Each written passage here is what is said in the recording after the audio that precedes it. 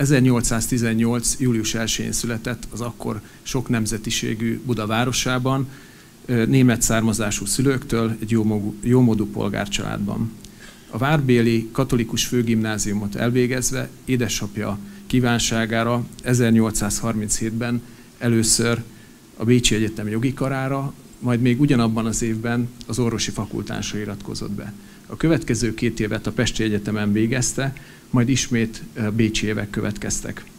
Ez akkortájt nem volt szokatlan, a Bécsi Egyetemi képzés volt a legerősebb, és az uralkodó döntése szerint az ott végzett hallgatók a birodalom egész területén praktizálhattak.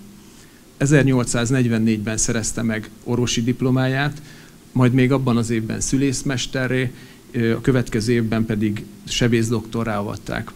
Az első munkahelye a Korbonsztani Intézet volt Rokitánszki professzor úrnál, ahol nagy boncolási és anatómiai gyakorlatot szerezhetett, melynek később nagyon fontos jelentősége lett. 1846-ban sikeresen pályázhatott a Klein professzor vezette szülészeti klinikára, amely akkoriban a világ egyik legnagyobb forgalmú intézete volt. 1846-ban több mint 7700 szülés történt. Semmelweis a klinikára kerülve a klinikai statisztikákat vezette, ezért már a kezdetektől szembesült az egyes és a kettes klinika gyermekágyi láz halálozásának jelentős különbségével. Akkoriban nem tudták, hogy ez a retteget szövődmény vajon mitől lehet, számtalan elmélettel magyarázták, szemérem, végzett a levegőben lebegő járványokat okozó miazmával, hasüregi kismedencei szervek betegségével, vérromlással.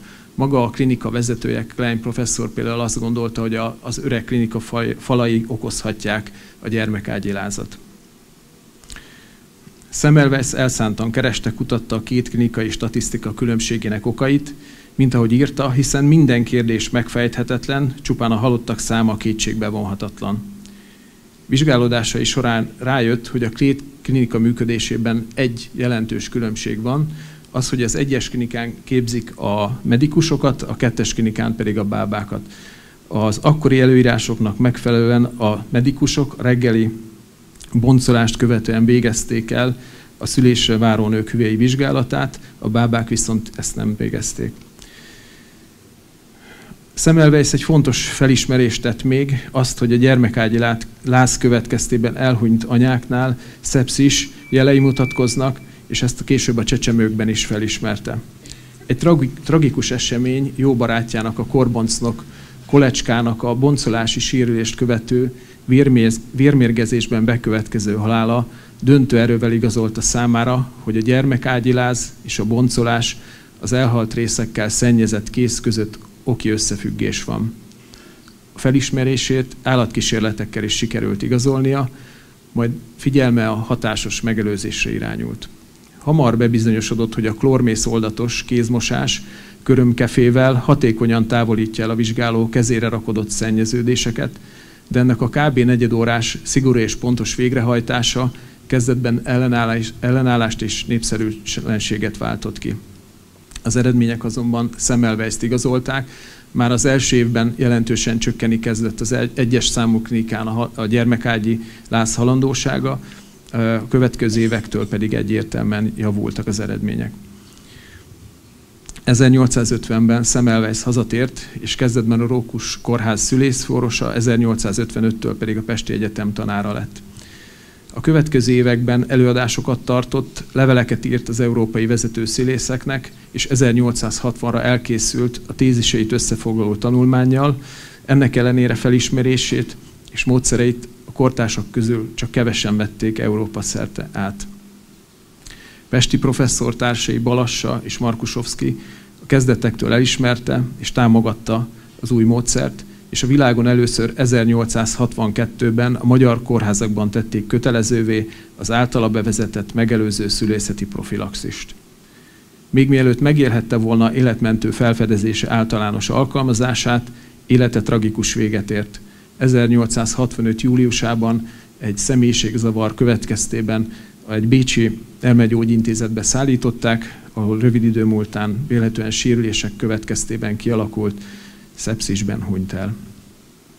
Jelentőségét korszakalkotó tanait csak jóval halála után ismerhette el a hálás utókor, akiktől az anyák megmentője és az emberiség jótevő jelzőket érdemelte ki.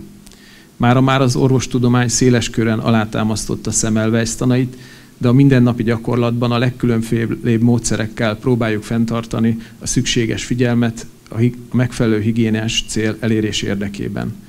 A WHO készségéné 5 momentum ajánlásával, a Handinscan készülék használatával, vagy az egyik legújabb tudományág a viselkedés tervezés módszereinek alkalmazásával.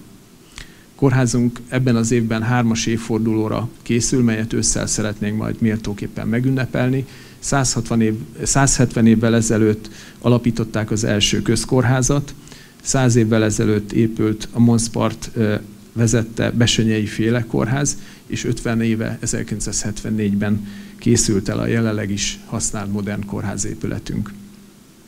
Ápolni, gyógyítani, a szenvedők fájdalmén enyhíteni mindig embert próbáló feladat, az itt töltött két hónapom alatt egy összetartó, elszánt, motivált kollektívát ismerhettem meg, akik nem pusztán munkaként, hanem hivatásként tekintenek mindennapi tevékenységükre. Ők azok, akik a beteg ágya mellett egy emberi jó szóval, egy pillantással vagy mozdulattal segítik át a nehéz pillanatokon pácienseinket. Nem lehetünk eléggé hálásak nekik, hogy mellettünk állnak és teszik emberséggel, szeretettel korán sem könnyű dolgokat. Külön szeretném kiemelni és megköszönni Szepesvári Szabolcs főorvos úrnak az elmúlt hét évben végzett főigazgatói munkáját, enélkül a kórház nem tartana ott, mint ahol most.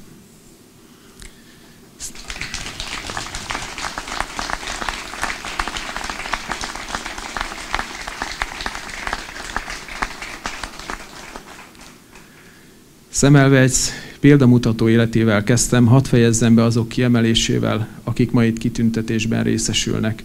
Legyen az ő életük mindaz, amit a betegeinkért, kórházunkért tettek, követendő példa mindannyiunk számára. Minden arra érdemesnek nagy szeretettel gratulálok, munkájukat, emberséget hálásan köszönöm. Minden évben ilyenkor a nyár közepén találkozunk egy napra, egy napra, hogy köszönetünket fejezhessük ki önöknek, akik működtetik az egészségügyet, működtetik a kórházunkat, gondoskodnak rólunk és ellátnak bennünket. Most az idei év olyan úgy alakult az én számomra, hogy személyes tapasztalásokkal is rendelkezem a, a kórház működéséről, vagy működésével kapcsolatban.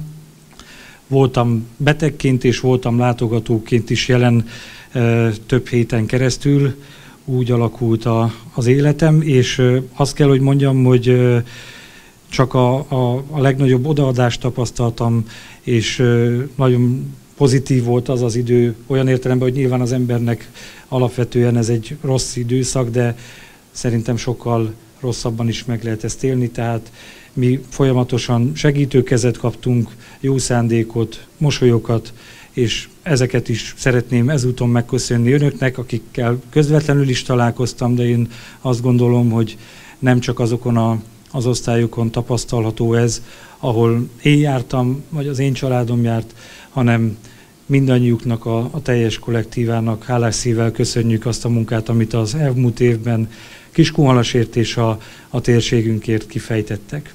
Köszönöm szépen. A